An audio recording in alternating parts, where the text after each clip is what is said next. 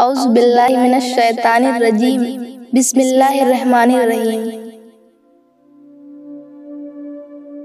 हज़रत अबू हुरैरा रज़ी अल्लाह कहते हैं कि रसूल अल्लाह सल्लल्लाहु अलैहि वसल्लम इरशाद फरमाते हैं कि, हर गंदगी दूर करने वाली कोई ना कोई चीज़ अल्लाह ने बनाई है, और जिस्म को अमराज से पाक करने वाली चीज़ रोज़ा है, और रोज़ा आधा सब्र भी है। मोमिन की हालत भी अजीब होती है वह जिस हाल में भी होता है, उसे खैर और भलाई ही समेटता है, और ये मोमिन के सिवा किसी को नसीब नहीं। अगर वह तंग दस्त बीमारी और दुख की हालत में होता है तो सब्र करता है, और कुशादगी की हालत में होता है तो शुक्र करता है, और ये दोनों हालतें उसके लिए भलाई का सबब बनती है। तुम लोग माल व दौलत और दुनियावी राहत व आराम में अपने से ऊपर वालों को ना देखो। इसे लालच और हसद पैदा होगा। और तुम लोग हमेशा अपने से नीचे के लोगों को देखो। इससे शुक्र अदा करने का जज्बा पैदा होगा।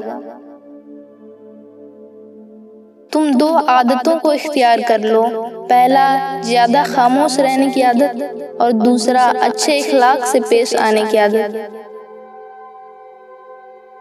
अपने फुर्सत की वक्त की कदर करो मशगूली आने से पहले। जो औरत शान और बड़ाई ज़ाहिर करने के लिए सोने का जेवर पहनेगी उसे उसकी वजह से अजाब होगा। हर उम्मत के लिए एक फितना यानी आजमाइश होता है और मेरी उम्मत का फितना माल है। जो शख्स खुद गुनाहों से बचने की कोशिश नहीं करता तो उसे महफूज भी नहीं रखा जाता है। तन्हाई बुरे साथी से बेहतर है और नेक साथी तन्हाई से बेहतर है। दो आदमियों के दरमियान इंसाफ कर देना भी सदका है।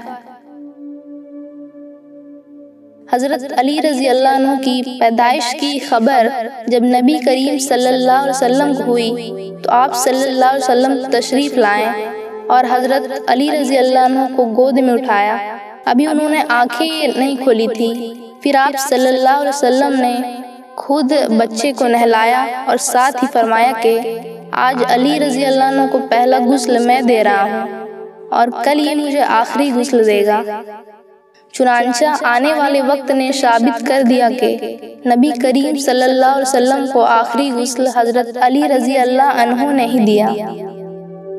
हज़रत अली रज़ी अल्लाह अनहु की जवानी में एक दिन हुजूर नबी करीम सल्लल्लाहु अलैहि वसल्लम ने हज़रत अली रज़ी अल्लाह से पूछा कि, तुमने मेरे आने से पहले आँखें क्यों ना खोली थी? तो आप रज़ी अल्लाह ने अर्ज़ किया कि, या रसूल अल्लाह सल्लल्लाहु अलैहि वसल्लम, मैं चाहता था कि जब इस दुनिया में मेरी आँख खुले तो सामने मेरे महबूब का चेहरा अनवर हो।